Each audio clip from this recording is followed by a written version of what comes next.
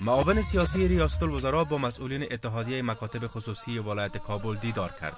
آنان ضمن ارائه برخی پیشنهادات بیان داشتند در حال حاضر 3750 مکتب خصوصی در افغانستان فعالیت دارد و بیشتر از 1.5 میلیون شاگرد در آن مصروف آموزش هستند.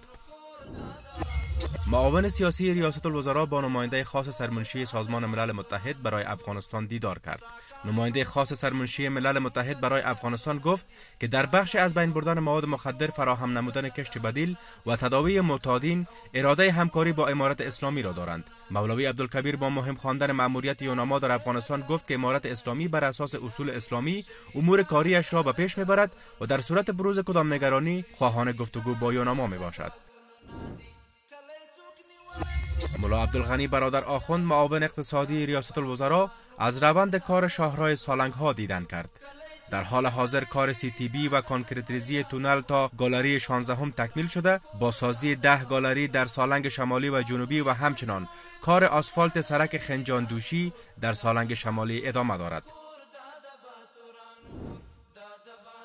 معاون سیاسی ریاست الوزراء با آقای جاوشینگ سفیر چین در کابل دیدار کرد. آقای جاوشینگ گفت که زمینه برای پروژه های اقتصادی و تجارتی در افغانستان فراهم شده و کشورش پلان دارد تا از راه تاجیکستان دهلیز جدید اقتصادی با افغانستان را باز نماید. معاون اداری ریاست الوزراء با هیئت عالی رتبه علمای کشور ازبکستان دیدار کرد. شیخ نورالدین خالق نظر مفتی اعظم کشور ازبکستان و رئیس هیئت هدف سفرشان را تقویت روابط فرهنگی باورها و ارزش‌های مشترک خواند.